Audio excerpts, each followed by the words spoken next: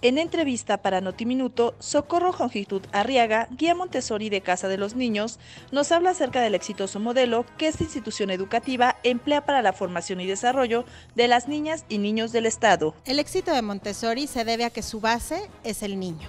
En Montessori lo más importante es conocer el desarrollo de los niños, saber cuáles son las diferentes etapas de este desarrollo y cuáles son sus necesidades. Es por eso que Montessori sigue vigente después de 100 años y en todo el mundo. Lo más importante es que Montessori es una educación para la vida.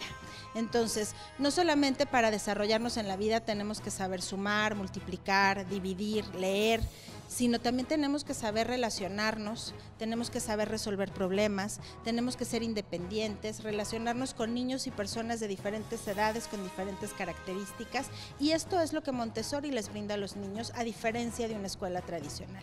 Experiencias de vida, educación para la vida. Estamos incorporados a la SEP, llevamos todo lo que la SEP nos marca, pero también vamos al ritmo de cada niño, y eso nos permite poderlos integrar en cualquier punto del ciclo escolar. Los invitamos a que conozcan el colegio, a que se acerquen al método Montessori, que dejen a un lado los mitos, que vean realmente cómo trabajan los niños. Somos un colegio incorporado a la SEP que además utiliza el método Montessori.